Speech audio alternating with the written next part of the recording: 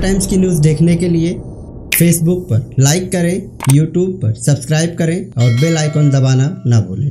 मैं इस्लामुद्दीन खान और आप देख रहे हैं प्रहार टाइम्स लॉकडाउन के दरमियान बिजली की बिल माफ़ करने को लेकर अब मांग तेज होते जा रही है।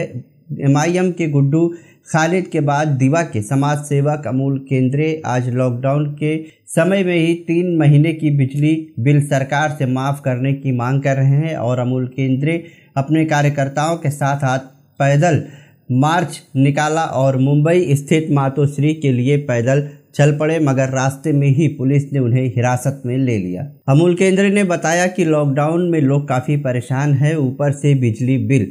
लोग कैसे भरेंगे? सरकार से मांग की है कि तीन महीने की बिजली बिल माफ़ की जाए, और आज पैदल मार्च के दौरान मातोश्री जाने के वक्त ही पुलिस ने अमूल केंद्रे और उनके चार कार्यकर्ताओं को हिरासत में लिया है मगर अमूल केंद्रे का कहना है कि वो आगे भी आंदोलन जारी रखेंगे। आज ठरल्याप्रमाणे पंचवीस जुलै रोजी मी माझ्या सहकाऱ्यांच्या सोबत माझे सहकारी आहेत अं, प्रवीण निकम आहेत अं, रवींद्र दादासाहेब आहेत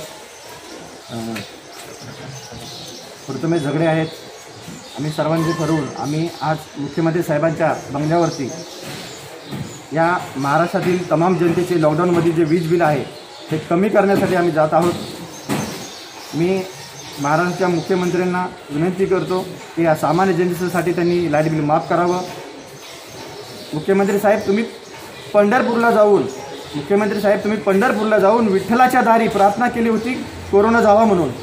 मीही आज पंढरपूरला नाही पण माझ्या दिवा शहरातील माझ्या विठ्ठलाच्या मंदिरामध्ये आलो आहे आणि इथे मी प्रार्थना केली आहे की मुख्यमंत्री साहेबांना ऊर्जा दे शक्ती दे सद्बुद्धी दे आणि हे कोरोना जाऊ दे आणि हे माझ्या महाराष्ट्र जनतेचं हे लाइट बिल आहे तेही माफ होऊ दे.